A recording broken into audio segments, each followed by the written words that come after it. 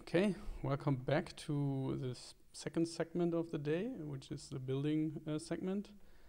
We are going to have this very nice agenda here. Nicolas will start us off with the state of BuildKit, uh, discussing different uh, Dockerfile front end, which I really, really like, really appreciate, and also the nitty gritty details of BuildKit, which is pretty cool. whatever you can put in 10 minutes. Um, Eduardo will um, talk about Buildah, the tool from Red Hat to build OCI images, also very interesting. Greg will talk about the state of Singularity build, also important, widely used.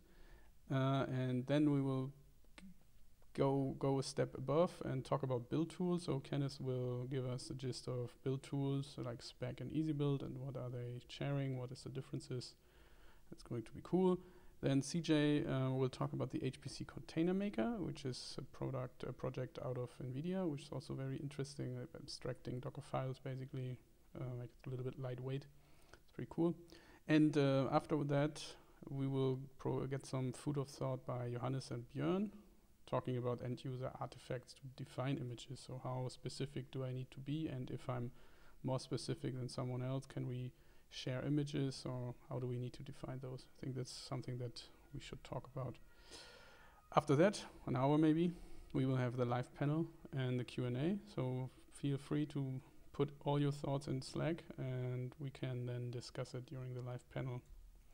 Tenants, um, I think would be worthwhile to not to discuss how deep and how dependent those things are or these tools are from the storage backend perspective. So how do you execute and how do you commit.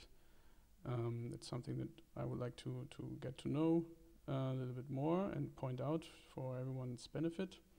And we don't want to talk about distribution here. Um, we might talk about runtime, so how it's executed, but please don't uh, expect us to talk about distribution. We want to talk about how to optimize for caching, how to optimize the build, but not how to optimize the distribution. That's for the next segment. Missing in action, I think a deeper dive into platform and archspec uh, would be nicer, uh, would be nice. Kenneth will talk about this or touch on this a little bit, but would be nicer to talk about it a little bit more.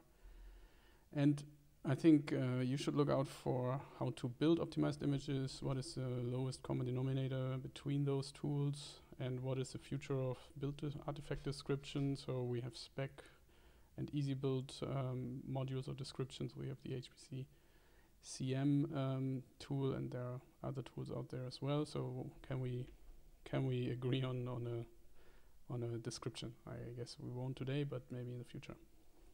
Okay, I will roll the images now, uh, the images, the videos, um, and set after an hour, or so we will continue with the live panel. So enjoy the videos and see you in a bit.